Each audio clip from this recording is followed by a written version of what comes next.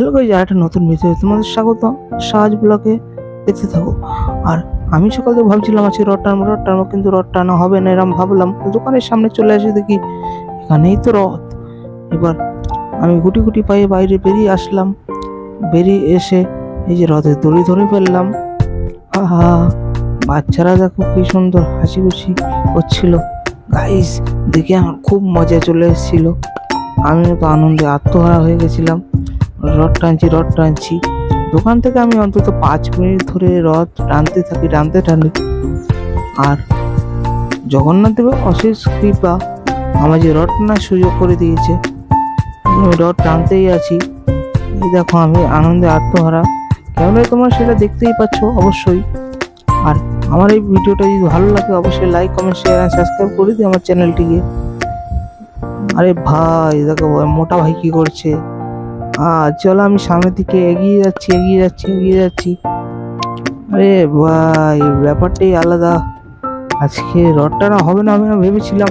তাও চলে আসলাম রড টানতে সুলঙ্গরির রাস্তায়। আমি রড টানছি ভাবলি গরমে ঘেমে একাকার।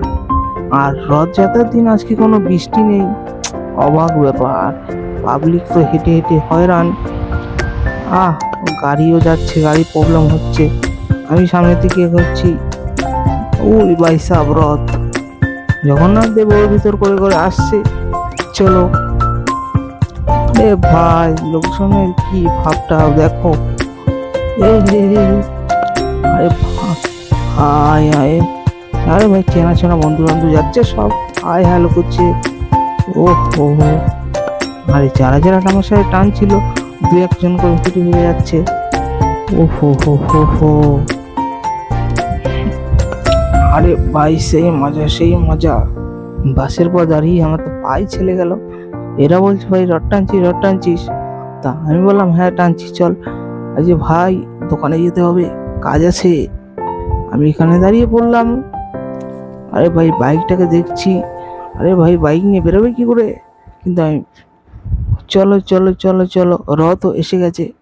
এই যে রথ এর ভিতরে জগন্নাথ দেব বসে রয়েছে। দেখো গাইজ নাজারা। আমি জয় জগন্নাথ দেব জয় সামনের দিকে চলে দেখলাম তখন দেখো সামনে সামনে রথ যাচ্ছে কীভাবে? আর সবাই যাচ্ছে ঘেমে ঘেমে। গাইজ সব একাকার। সাবস্ক্রাইব করো।